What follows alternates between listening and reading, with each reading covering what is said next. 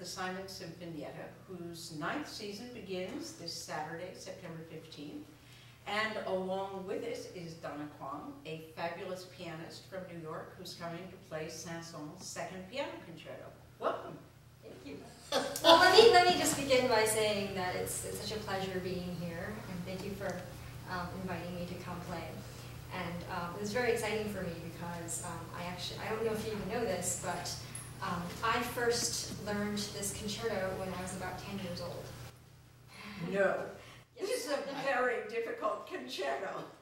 That was my, I, I think I was 10 or 11, and... You can't play this when you're 10 or 11. Well, I played it to the best of my abilities, let's put it that way.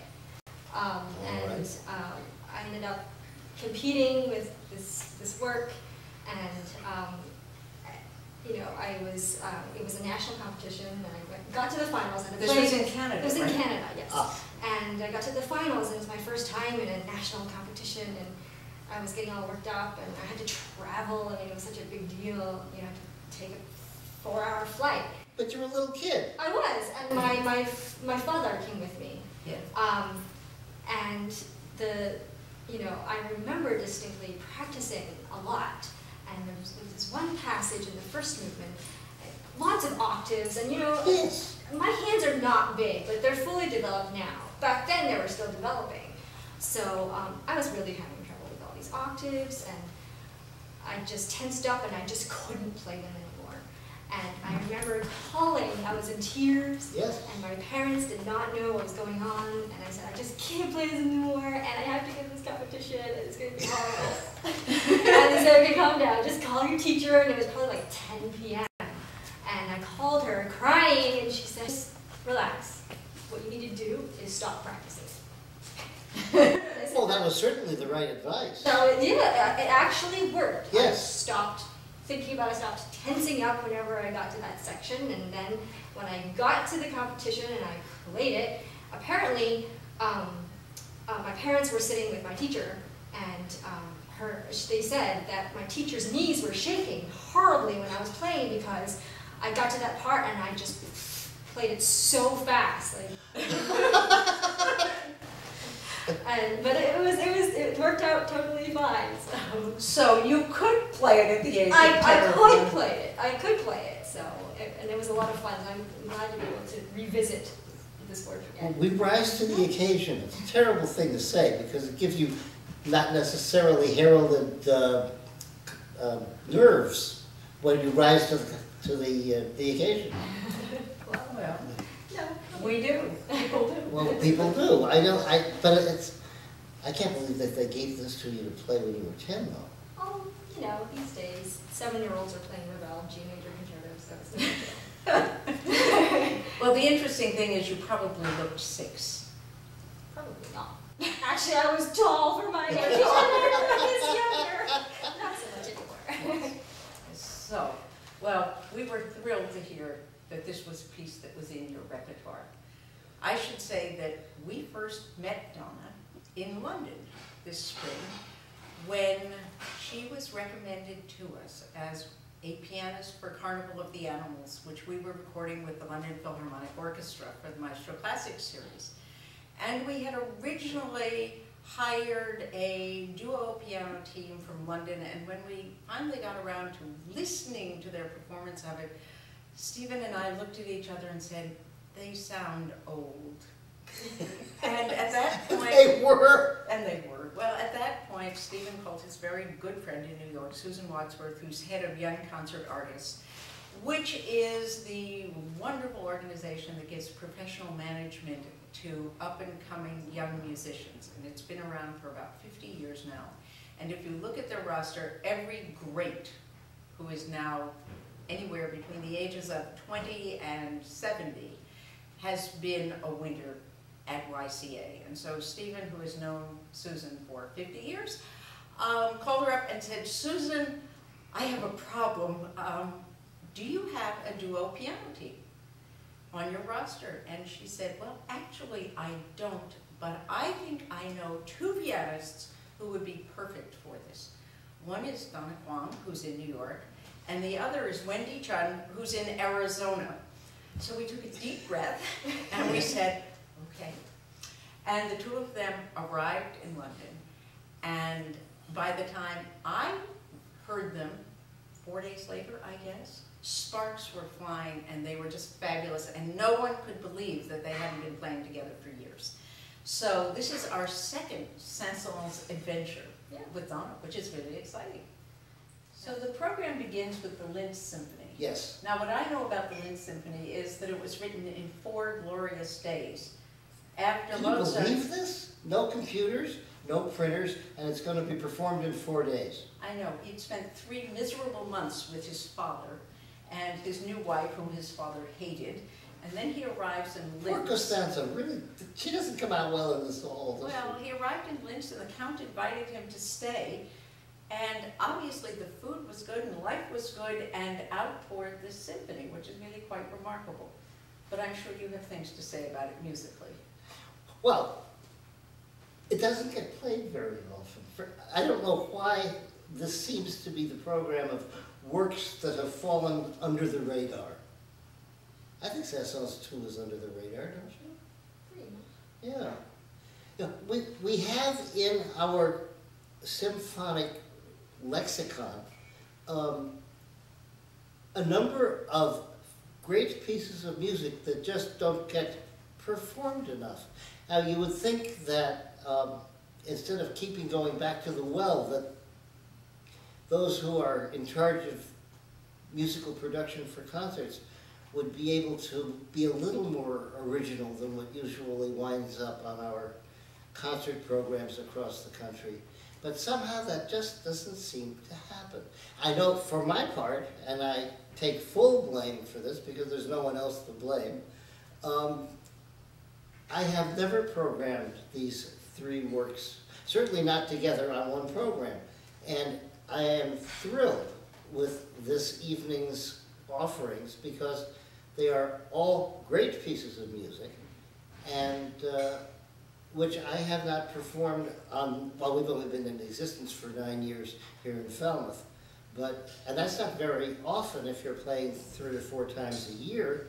Uh, Nonetheless, these are all new to our Falmouth audiences, and I'm really excited to be able to play them at uh, Falmouth Academy on this program.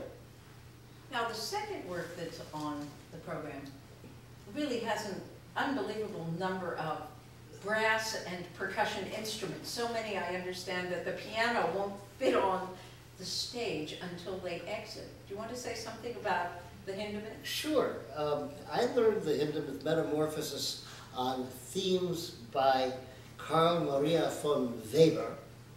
Um, this was a composer, by the way, that Hindemith really enjoyed. He used to play piano duets that were written by Weber uh, with his wife.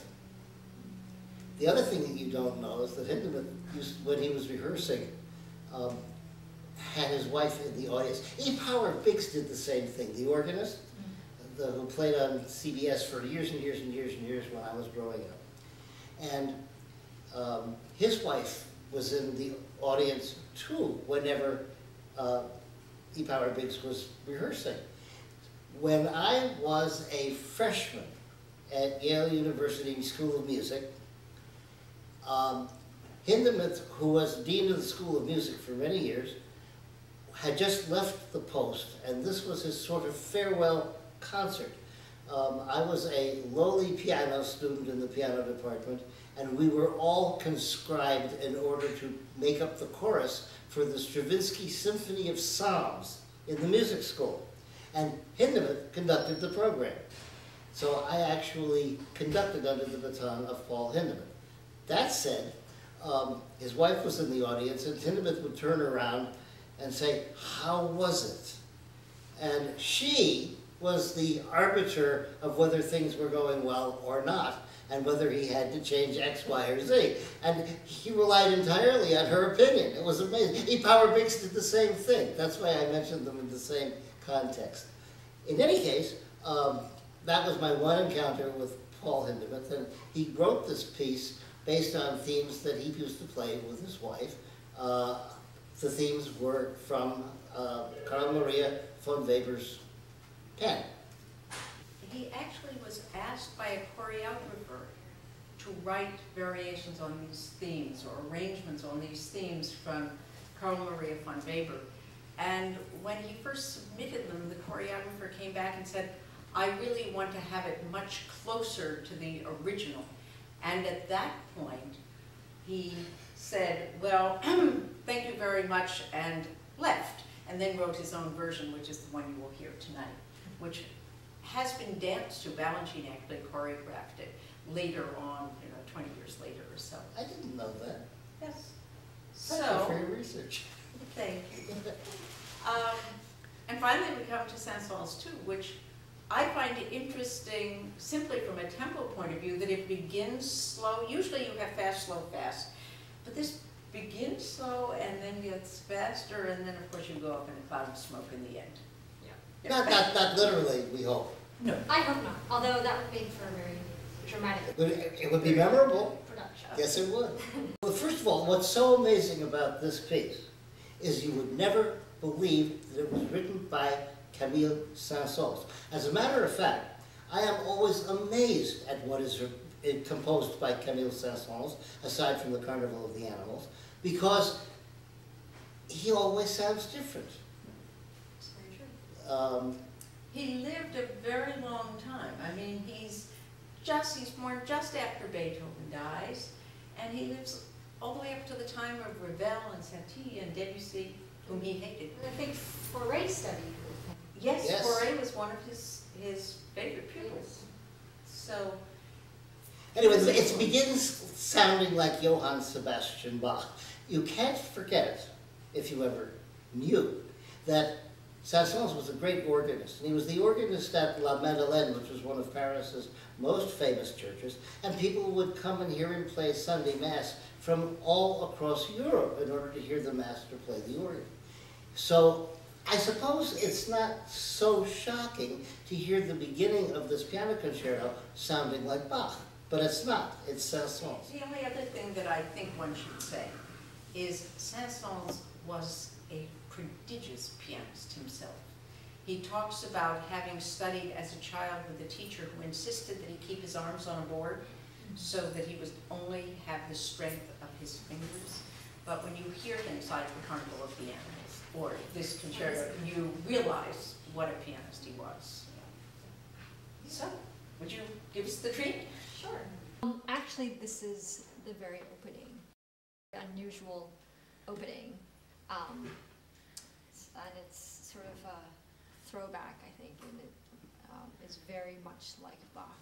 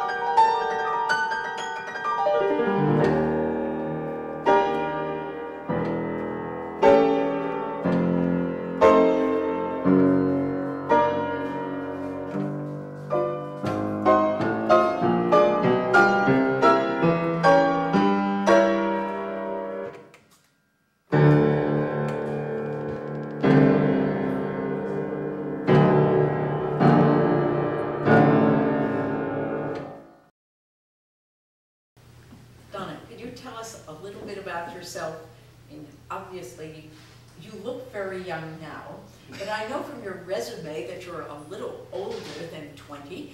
Um, do you think you could tell us a little bit about how you began and how your career progressed and how you decided, when you decided that you'd become a professional pianist? Oh, okay. let me try here. Um, well, I, um, I live in New York now, and um, I've been living there since um, I studied at Juilliard. I'm not going to give it a year. Um, um, but I did get my, I got my bachelor's and master's um, from Juilliard, and um, I had a fantastic time, um, you know, learning from such great, not just great teachers, but all my peers and my, you know, all fellow students and everything. Um, and, but before that, I actually grew up in Vancouver, Canada. And I spent, you know, a lot of time there playing the piano and competing and whatnot. And um, when, it, you know, people asked me all the time, oh, did you know from an early age that you were going to do this, you know, for the rest of your life? And, and I said, well, no, not really. it was a big part of my life. Um, but it wasn't until my senior year of high school when I had to pick which schools to go to and whatnot um, that I thought, well, at first I thought I would double major and, um, psychology and music, but then I thought, there's no way I'm going to be able to, with something like music, where so much work has to be done outside of the classroom. Um, I didn't think I could give it 100%. And so I said, well, if I'm not going to give music 100%, I don't see the point in developing this. So I said, well, I'm going to do that. And if that doesn't work out, then I'll try something else later on. Because I still have my brain, hopefully. um, so that's how I ended up with my decision to pursue a career in music. May I ask, how many hours a day were you practicing your senior year in high school? I actually, oh, well, let me start by answering your question. Um, probably about six hours a day. And um, one might ask how I found the time to even do that. How did you find the time to even do that? Thank you. Um, actually, I went to a school that, um, it was just a regular public school, but it also had a special program within it. So it was, um, so it was the, the program for the, um, what is it called? Sports and Performing Arts. Okay. So there were actually more people in the sports in this program than in the performing arts, but there were certainly a lot of musicians and lots of dancers and swimmers and tennis players, you know, very serious people. So I actually ended up get, going to school just in the mornings and um, then getting the rest of the day to train or go to my lessons or whatever it is. So that's how, that's what I did. That's how it was possible. That's, a, that's how it was possible. Yes. Um, now I've, you know, I, now I've learned how to practice better. So I actually, thinking back to the six hours I did, I could probably do that work in probably two hours, two or three hours. So it's all about efficiency, of course. Um, but after, actually after I finished, um, actually my fourth year at Juilliard, um, I started playing in an ensemble. Um, it was a piano trio, and um, the violinist and cellist um, are identical twins. And um, we just started together as a student group, and we said, hey, we like each other, our musical styles seem to gel, and our working style seems to um, You were compatible. we're very compatible because it's not just about being able to play well together. You have to be able to work together. Um, that's a huge part of it. And so we wanted to get some credit for, for school, for our degrees. So got together and we went to a summer festival. Actually, we went to Norfolk, the summer Sure. school uh, for, Yale. Yale School of Music. And uh, we spent a summer there and there were coaches there who said, you know, you should really um, try out for young concert artists. And we said, what's that? and, and he said, well, it's this great organization that helped me get started. We had these coaches who really believed in our future together. And we hadn't actually thought of staying together for a very long time. We just sort of got into it and said, okay, whatever. And uh, so we said, okay, sure, we'll look into it. And we looked through the, you know, the brochure for the, for the applications. Yeah. They didn't have a category for, for piano trio. They had, you know, one for every major instrument and, you know, vocals. Chamber music. They didn't even broad- have, they didn't Really? even have chamber music. And um, so we said to one of these coaches who, who you know, encouraged us to apply, we said, well, what's, what's the deal? We, there's no category for this. And he said, let me just call Susan Wadsworth and I'll, I'll see if I can get you an audition. So he did and she agreed to it. And so we thought, oh, okay, here we go. And at that point, we hadn't been together for very long, like one school, one school year and a summer for six weeks. You know, and, you know, it wasn't that much. And then, okay, another semester, and then we had to take the auditions in New York. And it was a, it was a great process for us. And um, we ended up winning, which we really couldn't believe. Just- when they, actually, when they announced the winners, and we were just so worked up from, you know, just the tension of waiting, the anticipation, and when they announced one of the winners was Claremont Trio, that was the name of the group, at, Named after the street outside of Juilliard? Outside of the old They had the old Juilliard. Right, sure. um, we just sort of sat there. and nobody had told us where, nobody had said where we were supposed to go, and then they were looking out from the stage and saying, where, where are Where you? am I?" Are you here? Are you guys here? And so we just sort of stumbled on stage and like, okay, we're here. Um, and I remember distinctly um, signing the contract with Young Concert Artists, and I mean, that organization, organization is just so wonderful. And, you know, such a nurturing environment Mm. for young artists to start out. And you know, we signed a contract and we sat there and we looked at each other, sat there and said, you know, I think we just got married. Yes, for those who don't know, Young Concert Artists provides professional management for how many years? Two? I think Three. it was three. three, yeah. And then the goal is to move you towards um, commercial management. And we ended up doing that, um, but I, I have to say, you know, and, and then the group, I stayed with the group for 12 and a half years. Ooh, And it was a very long time, and we played a, a lot of concerts. I, we had we had traveled to most of the United States, including we played in Hawaii, we played in Puerto Rico, and the U.S. Virgin Islands. And there were only a couple of states that we missed. Um, and that was two, 12 and a half years ago, or 12, for 12 and a half years. not 12 years ago. And um, it wasn't until um, January of this past year that I, I had to make a very big decision. Um, it was a family decision, basically, because I have a I have a baby daughter, and I wanted who to. is now? she is now 19 months, um, a very energetic 19 months. and um, I made the decision to leave the group. Um, it was a very difficult decision for me, but I left um, because I felt like I wanted to stay home a little bit more um, to spend the time with my family.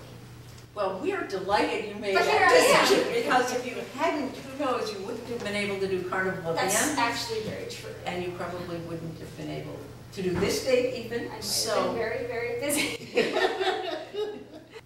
The Simon Sinfonietta's ninth season opens with a concert on Saturday, September fifteenth at seven thirty PM at Falmouth Academy. The next concert will be Saturday, February sixteenth at Falmouth Academy at seven thirty, and it will feature music by Handel, Bach, and Mendelssohn.